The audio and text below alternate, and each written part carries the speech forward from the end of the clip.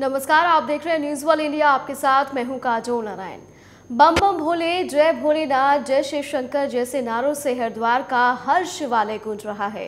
मगर शिव शंकर की ससुराल दक्षेश्वर महादेव का नज़ारा ही देखने वाला है। आकर्षक ढंग से सजाए गए भगवान शंकर के ससुराल दक्ष प्रजापति मंदिर में शिवरात्रि पर देर रात्रि से ही भक्तों का सैलाब उमड़ने लगा था। और यहाँ पर लंबी लंबी कतारें लग गई थी।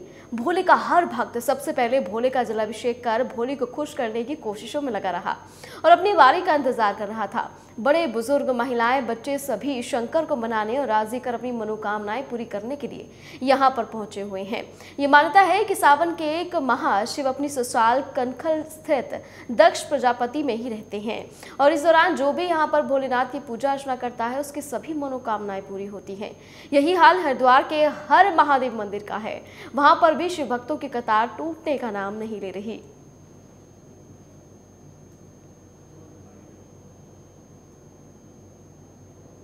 भगवान शंकर की ससुराल है, दक्षेश्वर महादेव, भगवान शिव अपने ससुर राजा दक्ष के नाम से ही जाने जाते हैं। और राजा दक्ष के कटे हुए धड़ के रूप में भगवान शिव यहाँ पर विराजमान है।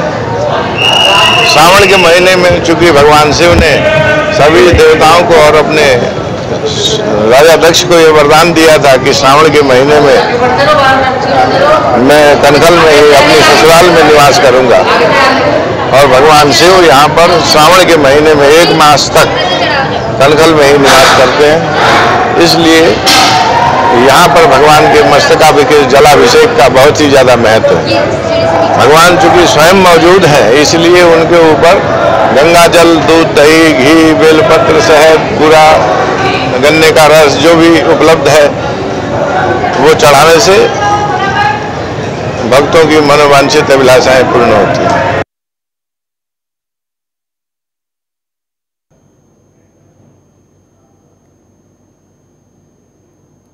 चमोली में पुलिस की अनोखी पहल देखने को मिली है। चमोली पुलिस द्वारा जगह जगह तीर्थ यात्रियों को जूस पिलाया जा रहा है, जिसके बाद चारधाम यात्रा पर आए श्रद्धालुओं में चमोली जोशीमठ पुलिस की तारीफ़ की है। कहा है कि उत्तराखंड की पुलिस सही में मित्र पुलिस है। चारधाम यात्रा में आए, कुछ लोग लगातार पुलिस की तारीफ़ कर रहे हैं और उनका कहना है कि पहली बार बद्रीनाथ धाम की यात्रा पर आए हैं। जोशीमठ पुलिस द्वारा रास्ते में तीर्थ यात्रियों को जलपान कराया जा रहा है, जो कि एक अच्छी पहल है।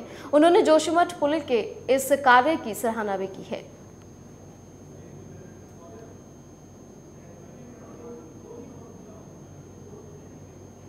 भगवान शिव के भक्त लाखों की संख्या में अयोध्या से जल लेकर बस्ती के बदेश्वर नाथ पहुँच रहे हैं। बता दें कि 12 बजे के बाद तेरस में भगवान भोलेनाथ को भक्त जल चढ़ाएँगे। बस्ती से अयोध्या की दूरी लगभग पैंसठ किलोमीटर की है। शिव भक्त अयोध्या से जल लेकर पैदल बाबा भद्रेश्वर नाथ पहुँचते हैं। जिला प्रशासन से लेकर आम जनमानस जगह जगह शिव भक्तों की सेवा में जुटे हुए हैं। फुटिया चौराहे पर डीएम प्रियंका निरंजन और एसपी आशीष श्रीवास्तव ने कांवड़ियों को भोजन परोसा। कांवड़ियों को अपने हाथ से भोजन खिलाया है। डीएम ने कहा कि श्रावण मास में कांवड़ियों का जनपद में लगातार आगमन जारी है। आज रात 12 बजे से जलाभिषेक प्रारंभ हो जाएगा। चार से पाँच लाख श्रद्धालु जल चढ़ाएँगे, जिसके लिए सेक्टर स्कीम लागू है। एसपी आशीष श्रीवास्तव ने बताया कि पूरे क्षेत्र को नौ जोन, पंद्रह सेक्टर में बांटा गया है। कांवड़ यात्रा को लेकर तीन एसीपी 25 सीओ 50 इंस्पेक्टर, तीन 300 एसआई 1500 कांस्टेबल सुरक्षा व्यवस्था में लगे हैं। पुलिस के लोगों को भी स्पेशल पुलिस अफसर बनाकर मदद ली जा रही है। पब्लिक के जो लोग हैं, उन्हें भी स्पेशल पुलिस अफसर बनाया जा रहा है। इसके अलावा अग्निशमन की गाड़ियाँ लगाई गई हैं। पब्लिक की भी मदद मिल रही है। व्यवस्था स्थिति चल रही है। लगभग पाँच लाख लोग भद्रेश्वर नाथ में जल चढ़ाने आए हैं और कोशिश यही है कि किसी को भी किसी तरह की कोई परेशानी ना हो।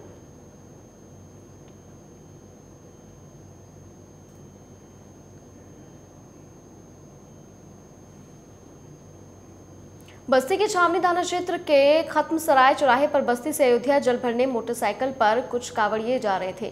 तभी अचानक अज्ञात वाहन ने टक्कर मार दी। पिकअप वाहन ये बताया जा रहा है, तेज रफ्तार से जा रहा बाइक सवार कावड़िया पिकअप के बगल से नीचे घुस गया और गंभीर रूप से घायल हो गया। भीषण दुर्घटना देख दोनों लेन पर आने जाने वाले सैकड़ों बाइक सवार कावड़िया जुट गए। पिकअप को घेर कर हंगामा मचाने लगे और पिकअप चालक इक्कीस वर्षीय शिव मंगल उसके भाई शनि निवास हलकारा का पूर्वा थाना कोतवाली अयोध्या की जो पिटाई करने लगे और तत्काल मौके पर पहुँची चौकी प्रभारी विक्रमजोत योगेंद्र कुमार और थानाध्यक्ष उमाशंकर त्रिपाठी ने कावड़ियों को समझाने की कोशिश की, जिसमें कावड़ यात्री पुलिस से भी धक्का मुक्की करने लगे। बड़ी मुश्किल से मारपीट में घायल पिकअप चालकों को पुलिस वाहन पर लादकर प्राथमिक स्वास्थ्य केंद्र भेजा गया है।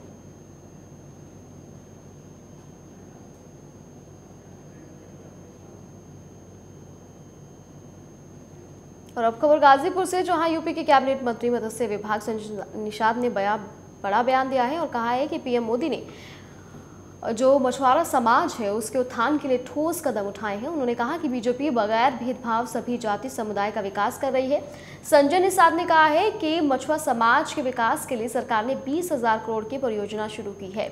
वहीं मीडिया के सवालों का जवाब देते हुए उन्होंने कहा कि लक्ष्मी कभी हाथी, हाथ साइकिल पर नहीं आती। लक्ष्मी कमल पर आती है। कमल पानी में होता है। संजय निषाद ने कहा कि सत्ता ही सुख समृद्धि दे सकती है और सत्ता ही समस्याओं का समाधान कर सकती है। उन्होंने ओम प्रकाश राजभर को लेकर पूछे गए सवाल के जवाब में कहा कि पावर के नज़दीक रहने पर ही अपने समाज का, को कुछ दिया जा सकता है और पावर हाथी पंजा साइकिल के पास नहीं, बीजेपी के पास है। उन्होंने कहा कि ओम प्रकाश राजभर हमारे साथ आए। जय श्री राम और जय निषाद राज। राजभर भैया को बुला रहे हैं।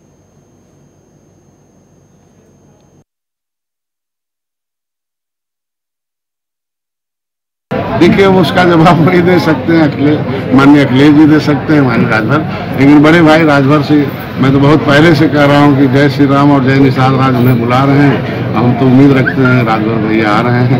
और नहीं, देखिए, हमेशा किसी नेता और किसी नेतृत्व, नेता को या कोई भी समाज का अगुआ हो उसकी एक ज़िम्मेदारी होती है, जवाबदेही होती है कार्यकर्ताओं समाज के तो बदलते हुए परिवेश में उसको अपने सिद्धांतों और अपने नीतियों में थोड़ा सा समझौता करके अपने समाज को न्याय और सुरक्षा देने के लिए क्योंकि सत्ता ही सुख दे सकती है, सत्ता ही समृद्धि दे सकती है, सत्ता ही सस्ते में समस्याओं का समाधान कर सकती है। और पावर के नज़दीक रहने पर ही अपने समाज को कुछ दिया जा सकता है। तो पावर तो हाथी, साइकिल, पंजा में है नहीं, कोसों दूर है। पावर भारतीय जनता पार्टी के साथ है, इसलिए हम उम्मीद रखते हैं कि सभी जाति और धर्म के लोग जिस तरीके से बिना भेदभाव के भारतीय जनता पार्टी सबका साथ, सबका विकास सबका विश्वास कर रहे हैं।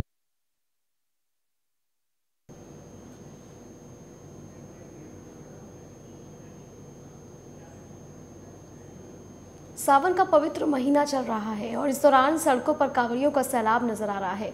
उनकी भक्ति के अलग अलग रंग देखने को मिल रहे हैं। ग्रेटर नोएडा में भी एक शिव भक्त की अलग तरह की श्रद्धा देखने को मिली है। ये शिव भक्त बोतलों के कांच के ढेर पर लेटकर गाँव तक कांवड़ यात्रा ला रहा है। दरअसल ग्रेटर नोएडा के घोड़ी बछड़ा गाँव के रहने वाले सुभाष रावल गौमुख से कांवड़ ला रहे हैं। उनको बीती सत्रह जुलाई को उत्तराखंड के गौमुख से गंगाजल उठाकर पैदल कांवड़ यात्रा शुरू करते हुए देखा गया था। सोमवार को वो दादरी के चुटहेड़ा गाँव के शिव मंदिर पर पहुँच गए और यहाँ से उन्होंने एक अनोखी तरह की कांवड़ यात्रा की शुरुआत की। यहाँ से उनका गाँव करीब पंद्रह किलोमीटर दूर है। चिथेड़ा से सुभाष ने कांच की बोतलों को तोड़ा और उसका ढेर बनाकर उस पर लेट कर यात्रा की शुरुआत की है।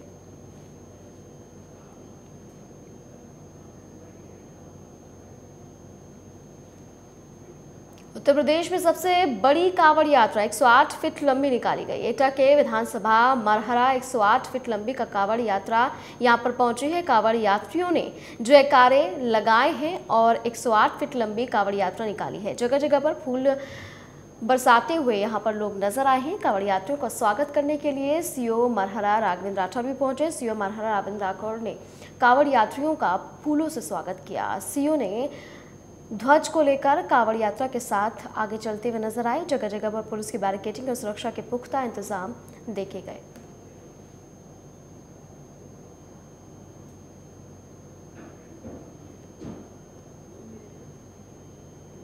बस्ती के बाबा बदेश्वरनाथ मंदिर में रात करीब 12 बजे से बड़ी संख्या में कांवड़िया जलाभिषेक कर रहे हैं। कांवड़िया अयोध्या से पैंसठ किलोमीटर पद यात्रा कर बाबा बद्रेश्वरनाथ पहुंचकर जलाभिषेक कर रहे हैं। ऐसी मान्यता है कि श्रावण मास में तेरस को जो बाबा बदेश्वरनाथ को जल चढ़ाएगा, उसकी सभी इच्छा पूरी हो जाएगी। जिला प्रशासन ने भी बाबा बदेश्वरनाथ पर कांवड़ियों के लिए मुस्तैदी की है। डीएमएसपी मौके पर मौजूद हैं और कांवड़ियों को जलाभिषेक करने में सहयोग भी कर रहे हैं।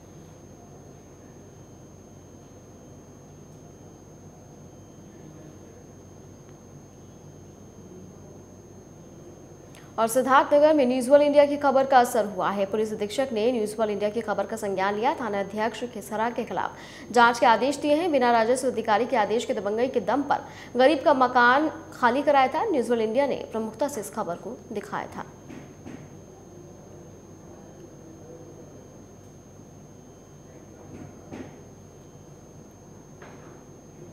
चंबल नदी घाट पर रात भर स्ट्रीमर बंद होने से सैकड़ों की संख्या में कांवड़ियों की लंबी लाइनें लग गई। सोरोघाट से गंगाजल भरकर मध्य प्रदेश के गाँवों के लिए जा रहे भारी संख्या में कांवड़िए कोरोना काल के बाद इस साल ज़्यादा संख्या में कांवड़ी यात्रा लेकर शिव भक्त जा रहे हैं। चंबल नदी का जलस्तर बढ़ने के चलते सुरक्षा के मद्देनजर रात भर स्ट्रीमर संचालन बंद रहा। रात के समय चंबल नदी में स्ट्रीमर संचालन नहीं होने पर कांवड़ियों ने जमकर हंगामा किया। पुलिस प्रशासन ने समझाकर शांत कराया। एसडीएम एसपी पूर्वी पुलिस फोर्स के साथ मौके पर मौजूद रहे। सुबह से पुलिस की मौजूदगी स्ट्रीमर द्वारा सुरक्षा के साथ नदी पार कराए जा रहे कांवड़ियों को पहुँचाया जा रहा है थाना पिनाहाट क्षेत्र के अंतर्गत चंबल नदी घाट का ये पूरा मामला।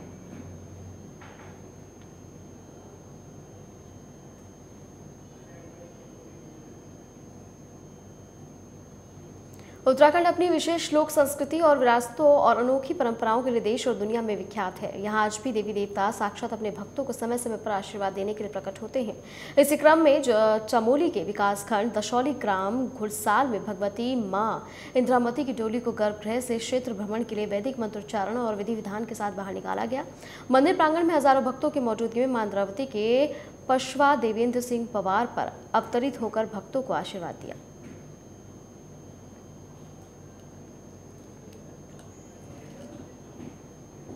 और इसी के साथ फ़िलहाल खबरों में इतना ही। आप बने रहिए न्यूज़ वन इंडिया के साथ।